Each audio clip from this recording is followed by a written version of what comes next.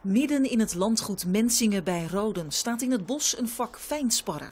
Maar de bomen zien er niet goed uit. De meeste sparren zijn dood en de moordenaar is een minuscuul kevertje. Wat hier aan de hand is, uh, de fijnsparren worden aangetast door de letterzetter. Dat is een heel klein kevertje en die nestelt zich als het ware net onder de schors. En uh, uiteindelijk gaat hij van boom naar boom naar boom en kan die hele grote stukken bos aantasten. Vroeger werd er hard opgetreden tegen de letterzetter omdat aangetaste bomen een bedreiging vormen voor gezonden. En dat zou ten koste gaan van de winning van timmerhout.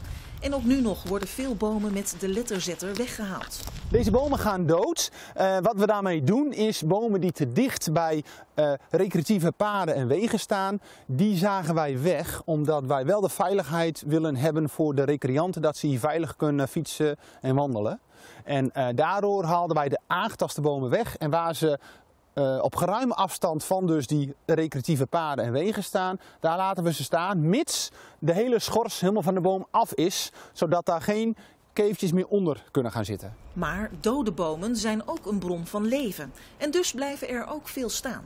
Absoluut, want uh, daardoor, uh, daar waar het kan, laten we dus dode bomen staan. Er komen weer spechten op af, uh, vele andere vogelsoorten. Dus die hele aantasting trekt ook heel veel vogels weer aan.